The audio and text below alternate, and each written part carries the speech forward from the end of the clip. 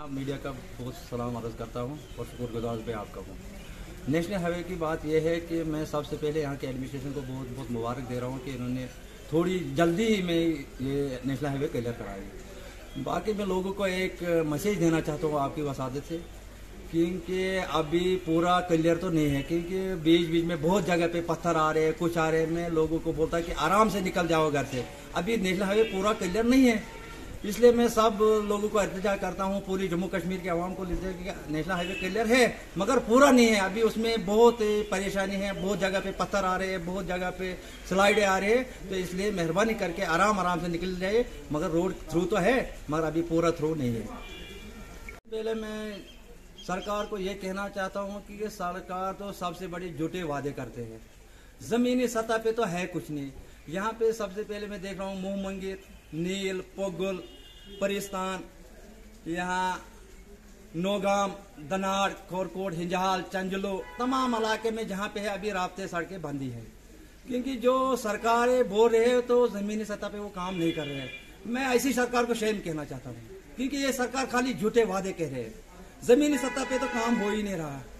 जमीनी सतह पे कुछ काम नहीं है सरकार का। अच्छा।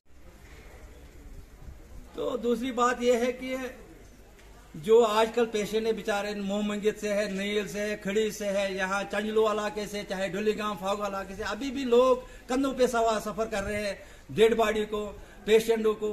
यहाँ रोड में अभी गाड़ियाँ नहीं, यहाँ पे अभी मशीनरी भी कुछ नहीं है। मैं सबसे पहले एडमिनिस्ट्रेशन को इल्तजा करूँ कि आप भी कोशिश करें, यहाँ पे एक सुनो प्लाक होना चाहिए बनाल के लिए।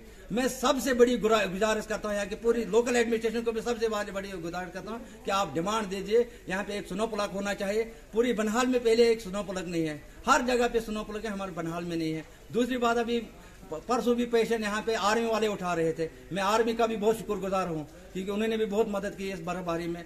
और यहाँ के जो बिजली डिपार्टमेंट है, पीडीडी में, उनको भी मैं बहुत उन्होंने जल्दी रिस्टोर कर लिया बिजली। मैं उनको भी बहुत दिल से शुक्रिया अदा करता हूँ।